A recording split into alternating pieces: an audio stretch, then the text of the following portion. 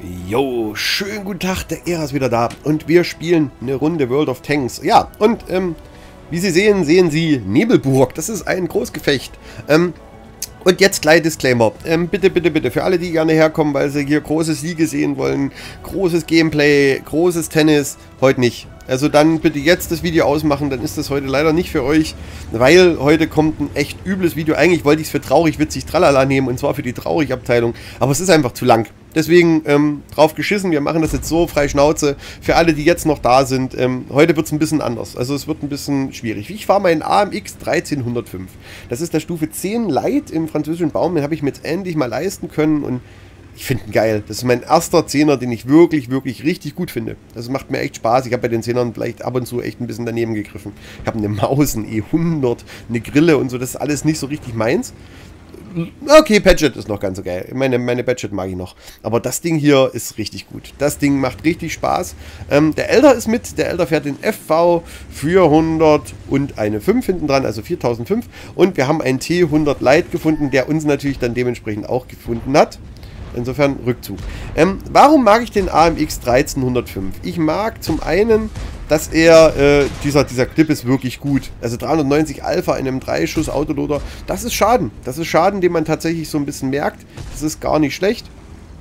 Ja, und guck mal, es steht schon 92 zu 98 Prozent oben. Also das ist halt, unser Team lässt sich direkt instant erstmal richtig aufrauchen. Also Plan war, dass ich hier auf der Flanke so ein bisschen spotte, hier in dem Wald, das mache ich immer ganz gerne, finde ich für einen Scout gar nicht schlecht. Weil dann kann man am Ende wirklich auch bis ganz hinten reinschauen. Das ist gar nicht so verkehrt. Ähm, und ja, der Elder sollte einfach ein bisschen schießen. Aber guck mal da, zum Beispiel den 705a, den kriegt man dann auf, wenn er rüberfährt und so weiter. Also hier ist, als, als Scout-Position ist es hier gar nicht so schlecht. Also hier kriegt man durchaus so ein bisschen auf, was sich an die Front verlegt. Ich wäre normalerweise noch ein Stück weiter vorn. Das ist aber mit diesem T100 LT da oben ähm, ein wenig schwierig. Das ähm, macht es ein bisschen kompliziert. So, jetzt äh, 3 zu 2 für unser Team. Ja, ich mache tatsächlich erstmal einen auf Scout. Da ist wieder so ein FV-Gerät. Den möchte ich natürlich jetzt nicht treffen, dass der mich äh, irgendwie penetriert. Dann fliege ich ja direkt von der Karte. Das mag ich auch nicht. So, und jetzt haben wir schon 1300 Schaden durch Aufklärung. Immerhin. Das ist schon mal eine Anfra Ansage. Guck mal, und da sind wieder neue Leute. Die gehen aber nicht auf meine Kappe. Also das ist nicht mein Spot, sondern das ist irgendwo jemand anders, der da was zeigt. Ansonsten ist hier gerade relativ ruhig. Dieser T100 LT jetzt da oben, ist der weg. Sieht so ein bisschen so aus, als wäre der weg.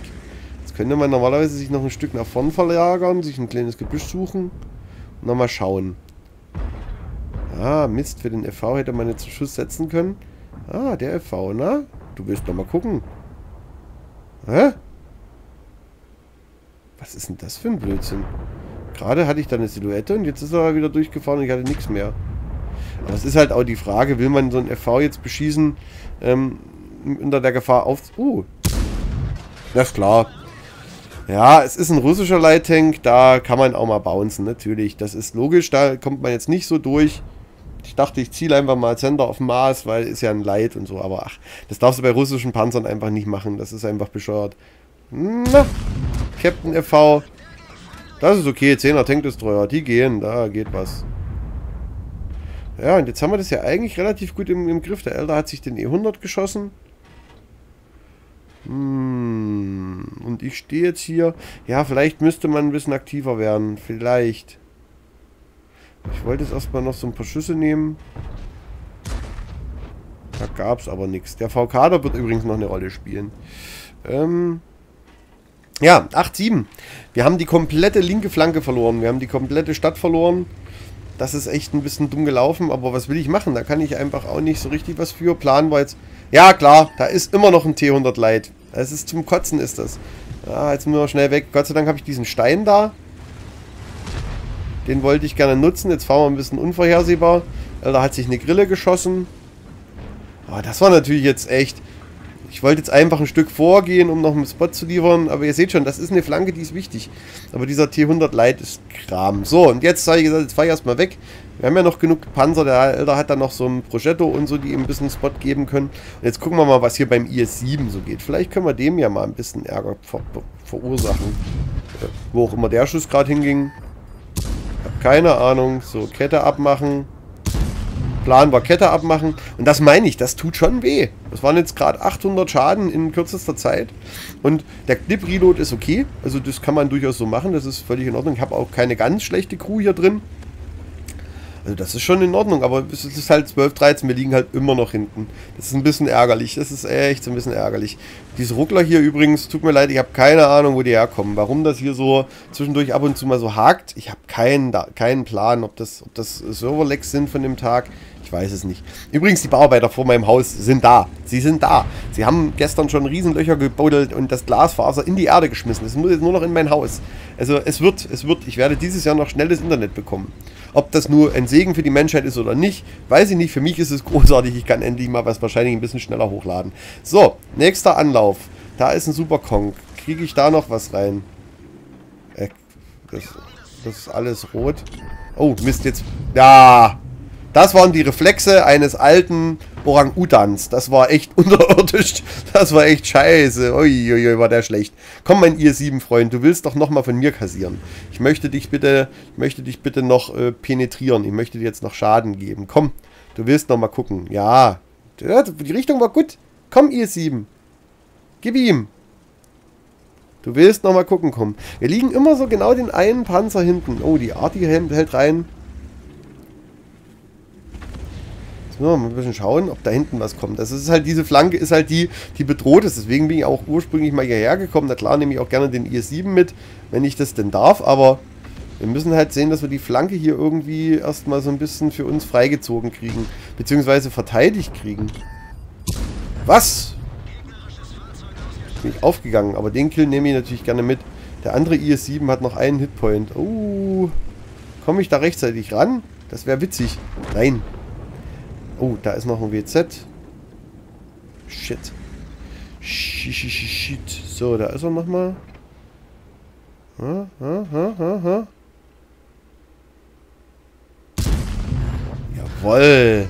Das meine ich, das tut schon weh. Das war jetzt auch eine, eine High Roll, also da brauchen wir auch nicht reden, 468, da kann sie schon, das ist schon, bei 390 ist das schon eine Ansage, da habe ich schon ganz schön Prozente drauf gepackt, aber ja, wir kommen trotzdem immer bei allem, was man so macht, es gibt immer wieder direkt instant die Retourkutsche, wir liegen schon wieder den Panzer hinten. Das ist total ärgerlich. Oh, und jetzt haben sie den Elder, jetzt kriegt der Elder auf den Frack. Er rief noch nach Hilfe. Ich habe Gas gegeben, so schnell ich konnte, aber Mal schauen, ob da noch was geht. Kriegen wir den Elder hier noch gerettet? Ja, na. Dieser Light müsste halt mal weg. Dieser T100, der müsste da mal weg hier. Das ist echt... Aber die Frage ist, wo ist der Typ hingefahren? Wo ist er hin? Ja, ich bin halt leider nicht das schnellste Fahrzeug hier auf dem Platz. So, 1918. Jetzt muss doch aber mal der Bock umgestoßen werden. Jetzt sind wir doch mal vorne. Jetzt muss es doch mal losgehen. So, jetzt versuche ich nochmal die Base vom Gegner zu spotten.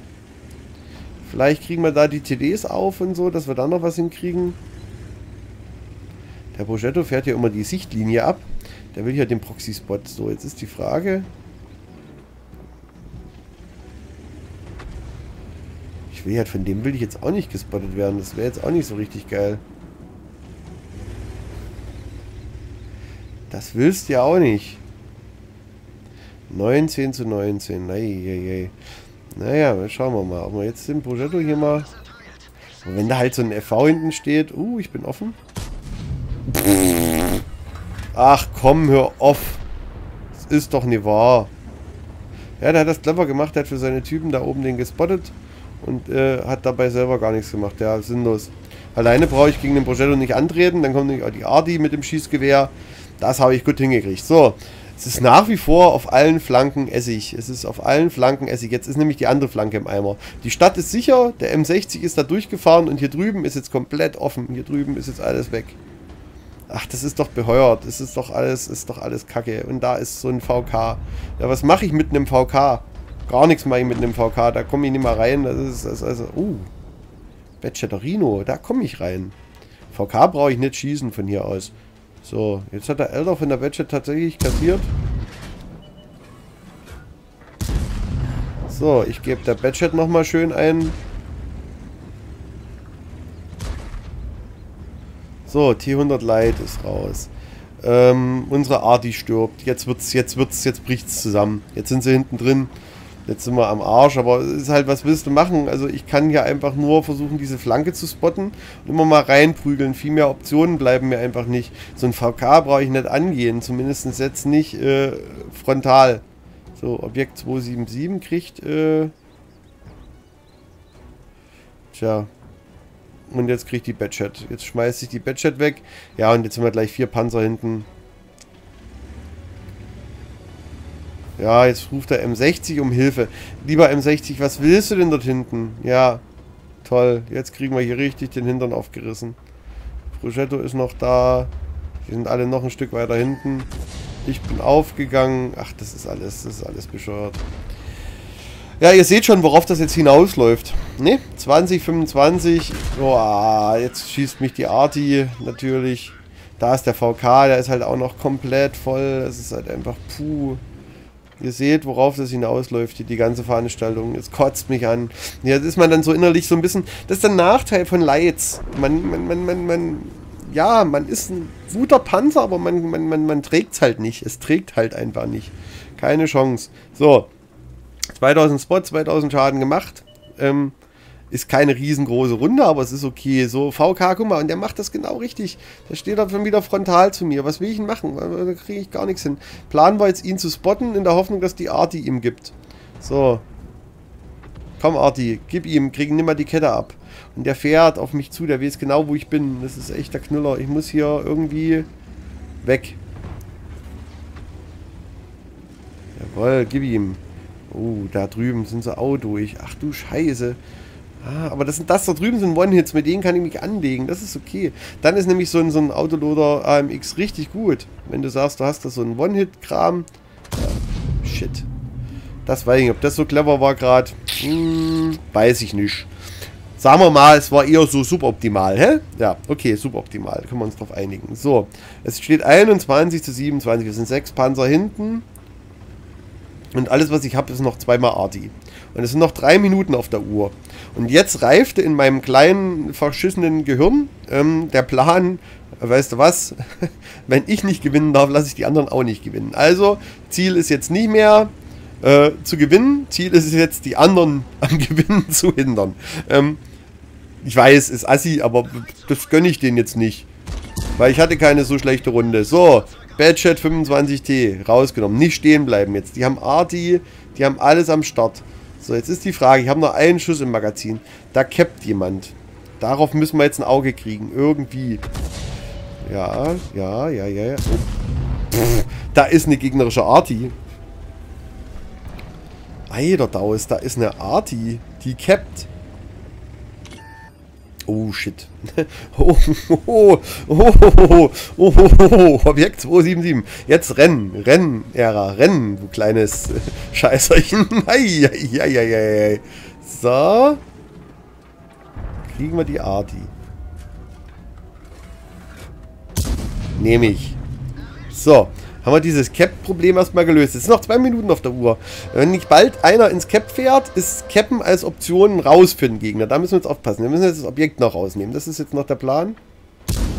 Mist! Ziel doch! Gott sei Dank. Oh, da, da kam schon wieder ein Einschlag. Da kam schon wieder ein Einschlag. Ah! Nein! Einen klaren Strutzwagen mit Gold. Natürlich mit Gold, Junge. Weil du ja so wenig Durchschlag bekommen hast auf deinem Strutzwagen. Jetzt hat es den Richtschützen zerledert. renn, Ära, renn. Lauf, Roger. Hui, Das war knapp, das war knapp. Eieieiei. Ja, okay. Also, da ist der VK. Ähm, 1,18. Alleine cappen ist schon mal raus. Also die 100 Sekunden, das wird nichts mehr. So, da ist noch ein Strutzwagen. Äh, da ist er, der Goldschießer. Ja, wir sind sechs Panzer, äh, fehlen uns äh, zum Gewinnen. ja, ich weiß. Aber die Gegner haben gar nicht mehr so richtig viel, aber es sind halt noch äh, Tank-TDs unterwegs. Unsere Art, die kriegt auf den Frack. So, Plan war jetzt einfach, solange der da alleine cappt, kann er das tun. Solange der da alleine capt, ist okay. Plan war, ich wollte gerne den Strutzwagen nochmal aufkriegen. Den hätte ich schon ganz gerne nochmal gesehen hier. Das wäre ganz schön. Aber ich kriege ihn nicht auf. Ich kriege ihn nicht auf. Ich dachte, der rutscht dann vielleicht auf die Arti vor. Da ist er. Da ist er, die Sau. Ja, ja, ja. Das ist die Frage, will man das riskieren? Nee, will man nicht.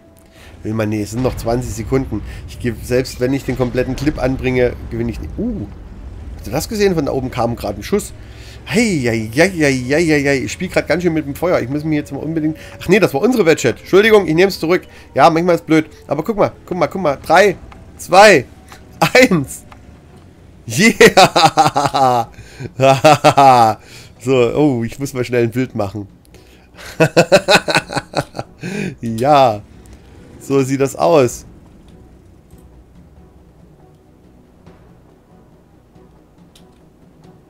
Das war ein Unentschieden.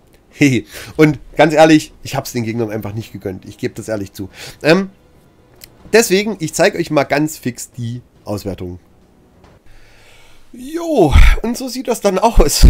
Das war nur eine 3. Ich war auch nicht besonders geil, aber ich wollte es euch einfach mal zeigen. Ich muss tatsächlich ein bisschen scrollen. Wir haben 3000 äh, Support Damage und 3000 Schaden gemacht. Dazu noch 4 Kills. Also ich fand, das war für mich, es ist eine der ersten Runden in meinem AMX 1305 gewesen.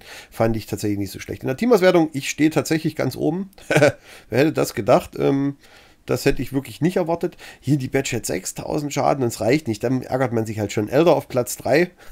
ja, 4000 Schaden im FV-Gerät. Ja, aber so alles in allem, äh, ja. Wobei die Gegner haben ja auch Nuller, aber wir haben halt ein paar Nuller mehr. Das ist immer so. Wer mehr Nullen hat, verliert. Ähm, okay. Hier ist äh, nochmal die Auswertung, 40.000 Credits. Ähm, jetzt muss ich gerade was loswerden. Ich habe gerade, während ich, also zwischendurch, äh, in meinen Kanal geguckt habe, einen Kommentar bekommen, ja, da ging es um das Objekt 416 Replay vom Elder. Ähm, das wäre ja total schlecht gespielt, bla bla bla. Und der hat sich ja nur hinten in der Ecke rumgedrückt. Ähm, ja, ähm, das ist ein Ace-Tanker-Replay. Ähm, er hat das Spiel am Ende gewonnen es ist ein Objekt 416, da gehst du, glaube ich, nicht in die Offensive. Ich habe den selber nicht, kann ich nie so richtig viel dazu sagen. Fakt ist, es hat mich gerade so ein bisschen geärgert, weil das sind Leute, die dann auch hierher kommen und den Sinn von diesem Replay auch nicht verstehen. Also nochmal für alle Beteiligten. Ähm, es ist nett, dass ihr alle Ahnung habt. Das ist auch sehr schön. Da freue ich mich auch sehr. Ihr könnt alle ganz großartig World of Tanks spielen. Das finde ich auch sehr schön. Ich kann es nicht ich stehe aber wenigstens dazu, ich bin dazu ehrlich. Ich weiß auch nicht, irgendwie im Internet sind immer alles die übelsten Könner und die übelsten äh, Stat Statistikmonster. Und dann sind wir mal ehrlich, wenn es dann hart auf hart geht, Weiß ich nicht. Also immer wenn ich so Leute treffe im, im, im Spiel, stehe ich gar nicht so schlecht da. Rumvinum ist auch egal. Ich will hier niemanden ankacken. Es ist ein Spiel, es soll Spaß machen. Ähm, und äh, ganz wichtig ist, äh, ich zeige halt auch hier solche Replays einfach, weil wir sind die Durchschnittsspieler. Ich brauche mir nicht noch einen Mausakrobat-Kanal machen. Ich brauche nicht noch einen Mailand-Kanal. Ich glaube, das braucht es einfach nicht. Noch mehr großartige, überragende Weltklasse, ich liebe von World of Tanks äh, Replays. Die könnt ihr da gucken. Die gibt's da. Das ist kein Problem. Problem, das ist auch völlig okay. Ihr könnt da Quickie Baby gucken, der macht das ganz toll. Also so, warum soll ich mich damit vergleichen oder da reinhängen, sondern hier gibt es das Standard-Gameplay für den kleinen Mann. Ähm, und ähm, ja, das habe ich vorher gesagt, ich möchte nicht eure Zeit verschwenden und bei mir gibt es halt auch mal so ein Unentschieden, weil ich es einfach cool fand. Ich fand, es war eine, war eine lustige Runde und dann hinten raus, dass die Gegner es nicht auf die Reihe gekriegt haben, mich und diese eine Arti da noch rauszunehmen und deswegen die Scheiße verloren haben, dass der eine, auch dass der VK sich dann in den Cap gestellt hat, das war äh, einfach so, so, so dämlich, dass ich gesagt habe, das ist witzig, also das ist einfach lustig. Ähm, wenn er uns jagen gekommen wäre, gegen den VK mache ich relativ wenig so. Also, Rumbinum, auch nicht böse, soll kein Rant sein oder so, aber ich freue mich über jeden, der hier schaut, ich freue mich über jeden, der hier kommentiert, ist alles nett und ist alles schön. Aber ja, es wird kein Ace-Tanker-Kanal, es wird keiner, äh, kein Mailand-Kanal, weil dafür bin ich einfach zu schlecht. Ich wäre auch nicht besser, ich bin übrigens alt. Ja, also ähm, bei meiner Lebensjahreszahl steht also bald eine 4 vorn dran. Da, pff, ich wäre nicht mehr besser. Ich bin, ich bin auf einem guten Durchschnittsniveau und ich mache das hier aus Spaß und der Freude. Ich verdiene mit YouTube keinen Cent. Ich habe 270 Abonnenten, das interessiert am Ende äh, niemanden auf dieser Welt, was ich hier tue.